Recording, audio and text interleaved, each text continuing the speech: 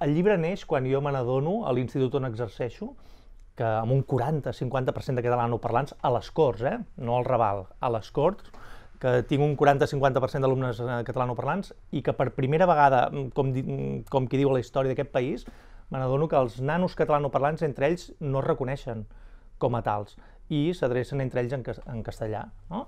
Però després, quan hi reflexiones més, te n'adones que, que, que tot això són uns usos lingüístics induïts pel que és un context, que tu no els pots culpabilitzar a ells. I clar, llavors em plantejo què, què ens ha passat els darrers 10-15 anys, no? Uh, sobretot els darrers 10 anys, eh? jo, jo en fa 15 que exerceixo, um, perquè arribéssim a aquest punt, no? que l'ús prioritari del català, deia, ha passat del 67 al 20%. És molt fort, això, eh? entre els alumnes. Però clar, és que amb la llengua tenim un problema sistèmic, no? i aquí l'esmento, problema demogràfic. No em fa por esmentar-lo, aquest problema, no? A la gent li crema molt. Jo penso que es pot parlar en positiu d'aquest problema. Uh, problema de model econòmic. Tenim, tenim un problema uh, dels polítics.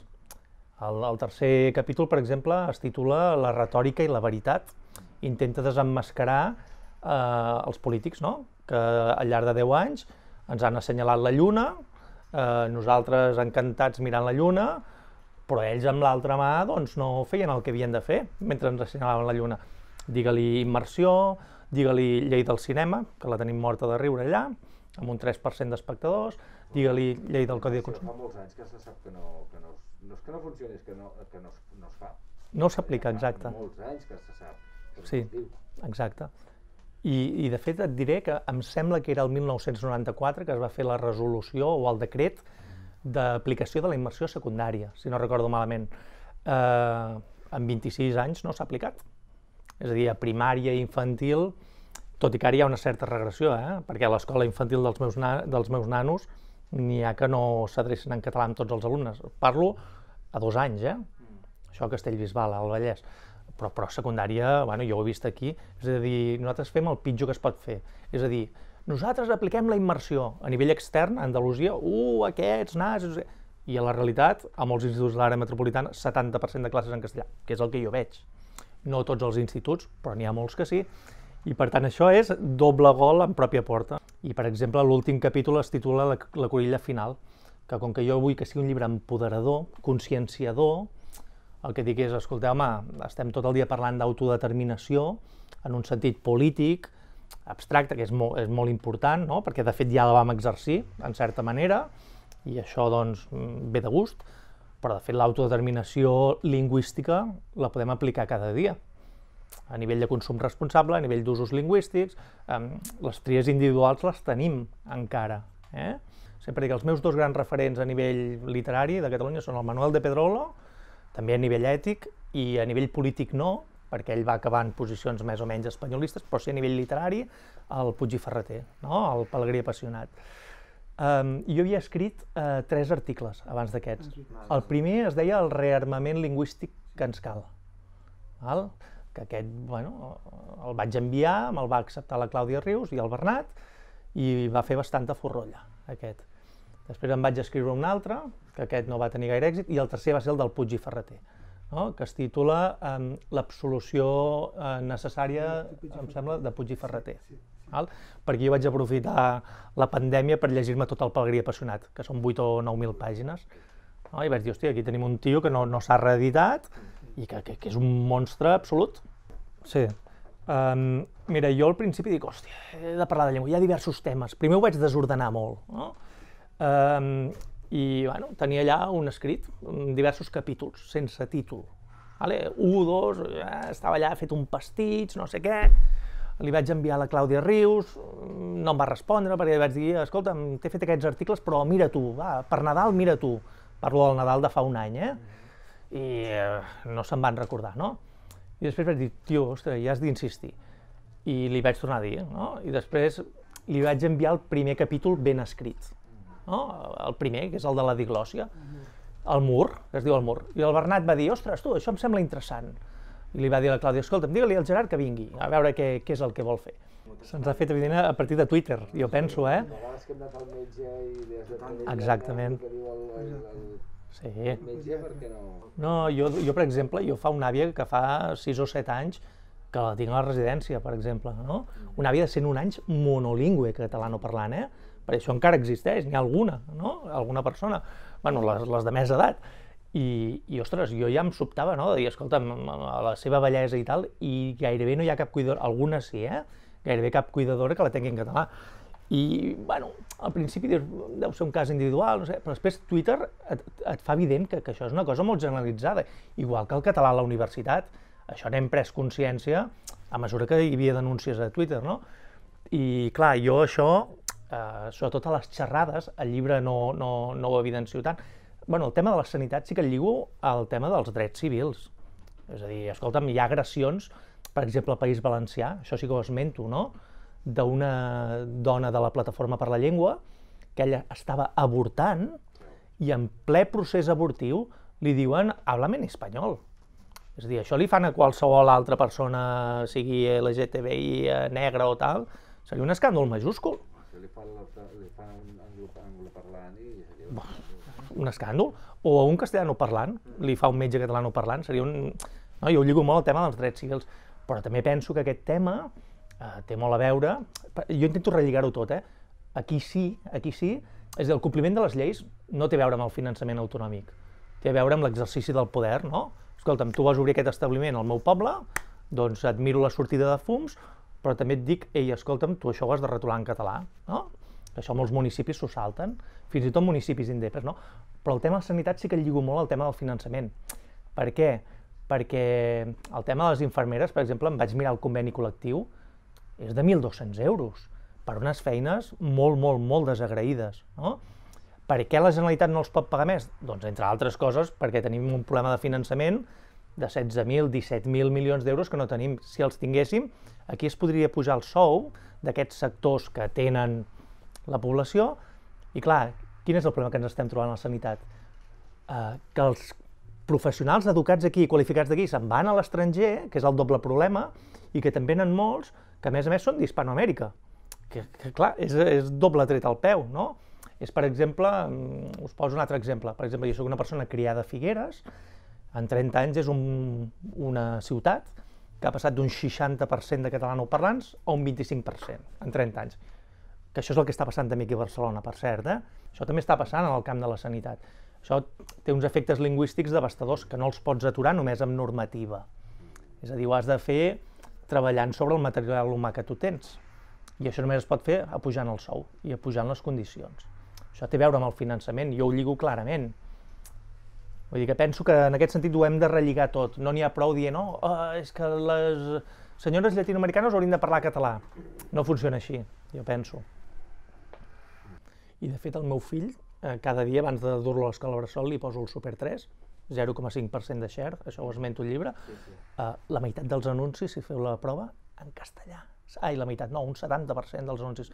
Si poseu a les 8 del matí, quan fan aquell del Dufí o no sé quin, uh, 70% dels anuncis en castellà. I dius aquí, clar, és que els polítics no saben exercir el poder. -huh. Perquè, escolta'm, um, si tu tens un 0,5% de share, vol dir que cada anunci te'l paguen, m'ho invento, eh? Això m'ho estic inventant, eh? A 500 euros. Per, per 5.000 euros que et paguen eh, no li fotis tant de castellà al meu alumne, renuncia-hi, no, o, o m'ho fots en català o res, perquè, total, què em fas de 5.000 euros al dia, no?, quan ja estàs enfonsat. Vull dir que aquí veig jo un problema de mentalitat de poder, eh? que això en parla molt el Joan Bordeus a Núvol, i això és una cosa que a mi m'interessa molt, no? l'exercici del poder. Eh, això sempre ho dic quan vaig als pobles, eh? eh? control del territori vol dir que cada batllia que nosaltres controlem, per dir-ho així, ha d'exercir el poder bé en benefici del conjunt del país. No? I el tema dels mitjans de comunicació, que ara n'ha tret un llibre el teu company, l'Àlex Gutiérrez, estic content perquè no m'arrogo el mèrit de ser el primer en parlar-ne, ni molt menys, però penso que aquí, per això és irreverent, no? Perquè al final m'és igual si surto a TV3 o no, eh? Vull dir, tampoc hi som per fer reverències, sinó per parlar del que hem de parlar i lo important, no? Doncs penso que aquí en parlo sense gaires embuts, no? I és un tema, evidentment, que l'audiovisual, juntament amb l'educatiu, eren les dues estructures d'estat que controlàvem, que, i clar, jo els hi perdono que no em fessin les estructures d'estat eh, que ens van dir que farien i que no van fer. El que no els hi puc perdonar als polítics és que les dues que controlàvem les hagin deixat perdre. No? I una d'elles és el tema audiovisual en nanos. És a dir, eh, literalment, eh, la Corporació Catalana de Mitjans Audiovisuals ara mateix és una eina, això sonarà molt fort, eh? és una eina de substitució lingüística. Des del moment en què no, es dirigeix, no s'adreça als joves, eh, clar, és una eina de substitució lingüística, perquè la mitjana d'edat de, dels espectadors de TV3, per exemple, és de 55-60 anys. Això ho ha dit el mateix Salvador Alzius a les entrevistes que li han fet. Eh? Vull dir que, clar, si tu no t'adreces als joves, com a tal, mm, ets una eina de substitució lingüística, perquè el relleu de la llengua són sempre els joves, i per tant no sóc jo, que de fet la gent de la meva edat tampoc se la mira. Això també és un drama, no? Tampoc, tampoc ens la mirem. Ja. Segurament nostàlgics pel que ja no tenim, o pel que ja no hi veiem i hi havíem vist. Però dius, bueno, TV3 està bastant bé, potser no cal, bueno, mirem-ho. I dius, Sí, sí, no, no.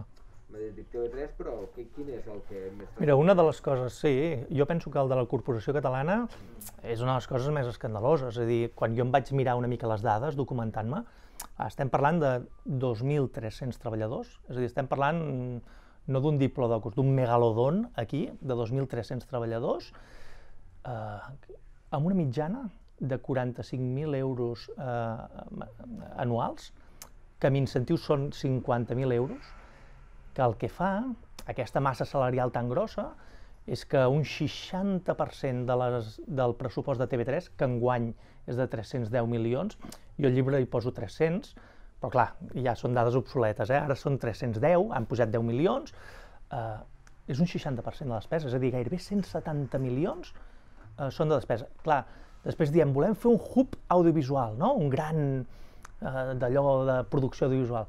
Clar, això ha de venir del sector públic. Evidentment, tu no li pots dir Media Pro, fes-me fons perdut d'allò, tu has d'incentivar amb diners públics. No hi ha diners per fer-ho, no? I a mi el que em sobta molt és que els polítics em diguin "Bé, nosaltres d'aquí tres anys farem unilateralment no sé què. Jo sempre els dic, molt bé, unilateralment, exposa't a que el comitè de TV3 et foti una vaga de dos mesos. No? Unilateralment, allò que diuen, no, pit i colló, vinga, posa-t'hi, perquè això ho necessitem pels nanos joves. És a dir, necessitem desenes de milions d'euros a YouTube, al Super 3 i al 3XL, a nivell lingüístic, per sobreviure com a comunitat. Doncs vinga, endavant, unilateralitat, és el que jo en dic a l'entrevista amb el Bordeus, unilateralitat pragmàtica, no? Sempre es diuen "Unil- unilateralitat per d'aquí 3-4 anys, i jo els dic, no, no, això no és unilateralitat, això és procrastinació, perdona. La unilateralitat és bona quan la fas demà, no? Quan la fas demà, vinga.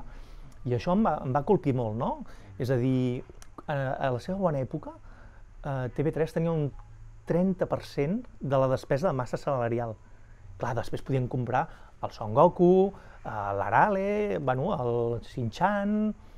Clar, quan tu tens un 60% vas lligant de mans i peus. I no només això, eh? Mira, això és el que em colpeix més. Que a més a més de tenir un 60% de massa salarial interna, encara hi ha programes que els han de coproduir, o fins i tot externalitzar. Posa-li a planta baixa. Co- Coproduir sempre vol dir externalitzar. Sí, sí, en, en bona mesura. Clar, el fax el coprodueixen, però és que no només això, és que a planta baixa l'externalitzen, eh? I a la Manchester Radiofònica, que és el, la, la productora de l'Ostrell, són 3 milions d'euros. Eh, el País Basc, en 20 anys, ha, ha pujat un 4,75% la població, i nosaltres, que tenim un model turistificat a la mallorquina, cada dia més, sobretot a l'àrea metropolitana, hem pujat un 25%.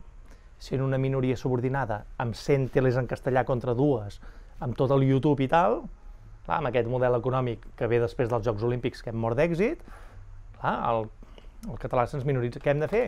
Doncs, per exemple, que els nostres polítics no promocionin el model Barcelona World. Això ens ho fem nosaltres, això no és Madrid. Um, qui és que ha destrossat el Baix Penedès? Qui té les competències d'urbanisme? Jo sempre ho lligo molt amb la política, no? Això ho van fer els alcaldes nacionalistes del Penedès, del Baix Penedès, i la Generalitat, que té l'última paraula, que va permetre que Cunit, Calafell i tots aquests pobles deixessin de ser pobles majoritàriament catalanoparlants. Ho dic així de clar, perquè és... Ah, això s'hauria pogut evitar. No? I el model Salou i el model Vila, Vilaseca doncs, té un impacte lingüístic. Jo estiuejo per aquella zona, eh? i clar, en 30 anys l'impacte lingüístic ha estat bestial. És a dir, ara a Vilaseca tu sents dos nanos parlant en català i el primer que fas és girar-te. Allò que deia la Marta Rojals a Vilaweb. De vegades vaig per Barcelona i quan sento joves que parlen que... em giro, perquè ens estem estranyant entre nosaltres mateixos. També, ten, volia, ten, també tenia clar que volia que el llibre tingués un toc literari, un estil literari. Més reixit o menys, eh? Poder venir sortint menys, poder hi ha gent que li agrada més o menys, o... No? A mi el que em satisfà molt, per exemple, és quan alguna lectora m'ha dit me l'he acabat de llegir, però veig que me l'hauré de tornar a llegir una segona vegada perquè, per captar-ho tot, no? O algunes frases, alguna gent m'ha dit no les he entès a la primera, me les he hagut de rellegir dues vegades més i després quan les he captat he tingut una gran satisfacció d'entendre-les, no? Vull dir que també és per un lector una mica exigent el llibre, eh? No, és un, no vaig intentar fer un estil pla i denotatiu, només, no? Vaig intentar que estigués una mica connotat. També és veritat que hi ha gent, doncs, l'altre dia la, la Diana Coromines, l'amiga Diana Coromines va escriure un article a Racó Català que sortia de Coiner, eh? jo sóc membre de Coiner i tal, i a part de criticar les seves obsessions al, al Pau Vidal i tot això, va dir llibres escrits en prosa rocambolesca i inofensius amb el poder polític, no? i es referia al meu, no? No sé si és prosa rocambolesca o no, però intento que sigui una mica literari, no? Sí. Per gent amb referents, sí, amb una mica de referents. També és veritat que no tothom sempre potser hi pot arribar, però tampoc volia que fos un llibre pla, perquè si és un llibre pla tampoc pots sotreguejar a la manera que tu vols, no? Per això, si, no sé si l'heu fullejat una mica, hi ha imatges, hi ha exageracions, hi ha hipèrboles, jo ja ho sé, no? Però això era el que m'interessava, no? Captar l'atenció. I una cosa que m'ha ajudat molt, si busqueu a Twitter, és que vaig fer un compte que es diu de Cal que Reverent, un compte de Twitter, mm. que té 2.126 seguidors. Sí. Vale? Ara, els últims dies, eh, no, no puc estar-hi tant al damunt, però el que vaig fer durant dos mesos i mig és cada dia agafava un fragment del llibre, allò que fos una mica impactant, i vinga, deixaven allà i deia fragment extret del capítol tant. Clar, quan tu tens 2.100 seguidors, permet visualitzar-te molt, perquè clar, al final a mi qui em coneix és un, poca gent, no? per dir-ho així. Clar, jo vaig dir, ostres, o em visualitzo jo, o m'espavilo jo, o no... Ara em porto cinc. Mira, a Girona, abans d'ahir, em, em van fer amb el Pau Vidal. Ell el seu, que és el nivell C trencada, amb el Pau tinc molt bon rotllo, perquè el segon article, ja, ell el va llegir, el de TV3, jo estava allà visitant un institut, i tot de cop entro a Twitter, ha nascut una estrella, no sé què, no sé quant, uh, us he de dir que... Ell és molt així, no? Molt entre irònic, però, però, però ho deia de debò, no? I clar, des de llavors ja vam mantenir el contacte i tenim un contacte molt regular. I li vaig dir, escolta'm, que l'he de presentar a Girona. Ah, doncs jo m'hi afegeixo, saps? I, I ell va presentar el seu i el meu. I clar, són dos llibres, el seu i el meu, que tracten de l'empoderament.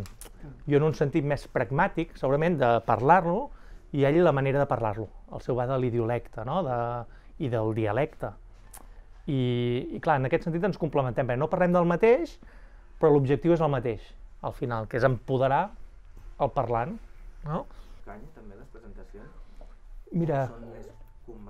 L'única canya que em van fotre va ser a Tortosa, eh, un regidor de l'Ajuntament, que jo vaig dir, escolteu-me, perquè la segregació escolar no va bé per la llengua, perquè allà a Tortosa tenen un, un col·le amb un 98% d'immigració. Eh, jo ho vaig veure en directe, eh, perquè vaig passar el dia allà i vaig dir que sapigueu que el bo és el model Jacint Codina, el model de Vic, no? És a dir, sobretot en zones més catalanoparlants. En menys en podríem parlar. És a dir, però en zones molt catalanoparlants, si tu tens immigració, el que has de fer és distribuir-la perquè es catalanitzi, és sentit comú, no? Eh, parlo de llocs com Vic, Olot, eh, Tortosa, a Barcelona això no, no rutlla perquè no, no rutlla, no? i bueno, va haver-hi un polític que, que se'n va indignar i tal, i 20 minuts després va agafar, recordeu que això s'acaba a dos quarts de nou, eh? No sé tu això no en saps. Però bueno, escolta'm, eh, jo ja hi conto amb això, no? Ja hi conto perquè, bueno, sí, hem de criticar els polítics. Us posaré un exemple. Um, ara que ha marxat l'Ester Franquesa, la directora general de política, tothom s'hi abraona, oh, aquesta dona, un desastre, no sé què, no sé quantos. I jo, que sóc un nou vingut al món, com qui diu, d'allò, sempre em pregunto, hòstia, tu, ara tots els lingüistes, tots els, eh, de tots els critiquen. Ha estat 10 anys, gairebé, que tothom et deia que era un desastre, que no rotllava, que cofuisme i tal. Ni un sol diari, ni Vilaweb, cap, cap ni un la va criticar. Bé, està superbé ell allà, tal. I dius, però qui, qui era el, el d'allò que ho deia? No, ara tots s'han abraonat. Doncs, ah, això no ho sé, hauríem d'haver pressionat també una mica dient aquí tenim mancances que es posen les piles, no? Penso jo. Clar, llavors hi ha gent que és molt irreverent, però t'impugna només el sistema. I mai no et diuen el que falla, no? Uh, falla tot, falla l'autonomia, uh, falla el sotogoverno, falla tot. No, però jo vull que em diguis qui i què falla, perquè si no, ah, impugnar el sistema és no impugnar res, al final. No? I això és una gran comoditat, també. Dir falla tot és supercòmode. Hem perdut molt. És a dir, per mi pragmàtica és una persona que vol operar sobre la realitat i per tant vol revolucionar les coses, no? Nosaltres estem acostumats a sentir retòrica i per mi els retòrics són, per molt unilateralistes que siguin, són contrarrevolucionaris, perquè al final tanta xerrameca i no et canvien res, no?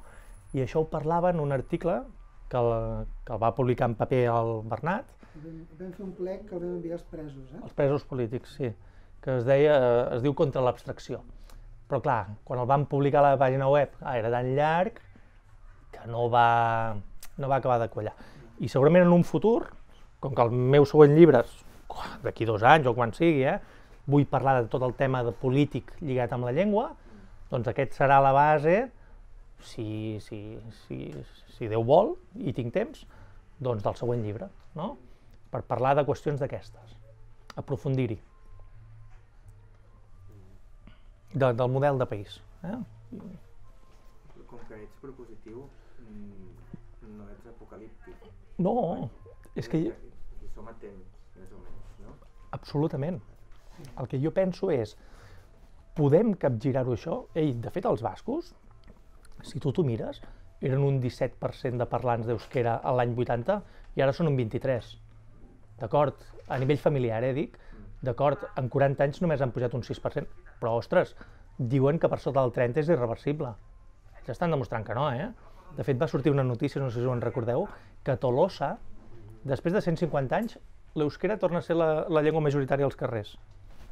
Vale? Jo em vaig quedar molt sorprès quan vaig veure això, no? No, no, és, evidentment que és reversible. El que jo dic és, totes i cadascuna de les polítiques, hem de tenir una visió holística, totes i cadascuna de les polítiques que duguem a terme en aquest país han de tenir en compte la llengua. És a dir, ha de ser el vector eh, bàsic. I un exemple, el 2016 el Parlament Basc va fer una llei que deia qualsevol gran establiment, eh, qualsevol centre comercial, qualsevol urbanització que es faci a Euskadi ha de tenir un informe d'impacte lingüístic, ells tenen clar que són una minoria nacional, eh? informe d'impacte lingüístic de la Conselleria, no sé si era de Cultura o de... no recordo quina, vale? si voleu ja us el passaré l'enllaç, eh, aquest, eh, i dius, ei, us ho imagineu això aquí? És a dir, que l'economia estigui supeditada a l'impacte lingüístic que pot tenir, inimaginable, no, aquí? Doncs jo, jo penso que ens en podem sortir però sempre, totes i cada, cadascuna de les polítiques han de tenir en compte la llengua. El que no podem fer és dir, mira, ara actuarem a la universitat, però continuarem amb un, amb un model econòmic que ens porta 100.000 alòglots que faran treball precari i són explotats, perquè ells no són culpables, eh? ells són víctimes, eh? són víctimes del sistema econòmic. Um, 100.000 alòglots cada any. Clar, això no ho podem absorbir, no?, com a minoria. Doncs això, ho hem de fer en un sentit global. Molt bé. Doncs vinga, gràcies per venir. Infinitament agraït eh, que heu vingut. Mm.